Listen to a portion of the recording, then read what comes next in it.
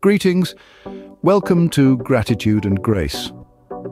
On January 13th, the Catholic Church honours Saint Hilary of Poitiers, a steadfast champion of the Trinity and a key figure in the battle against Arianism, which contested the divinity of Jesus Christ. St. Hilary is the patron saint of lawyers and all who are involved in the fight for justice and truth because of his articulate and unwavering defense of Christian orthodoxy. His dedication to truth and clarity in teaching the faith is why he is venerated as a model of integrity and theological precision.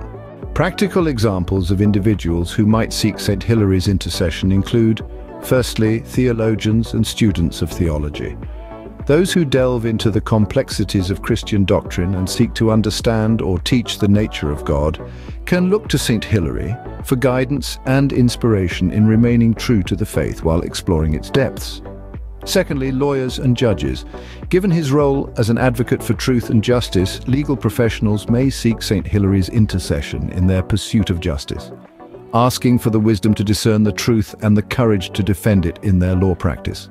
Thirdly, those defending their faith, Christians needing to defend their beliefs, whether in academic, personal or professional settings, can turn to Saint Hilary for courage and eloquence, asking for his help to articulate their faith with conviction and charity. Venerating St. Hilary of Poitiers means recognizing his contributions to the Christian faith and invoking his support in our own endeavors to live out and defend the truth with charity and zeal. If you enjoyed this video, please like, share, comment and subscribe to this channel. Refer to the description for the best reads on this topic. Goodbye, God bless, and may you have a spectacular 2024.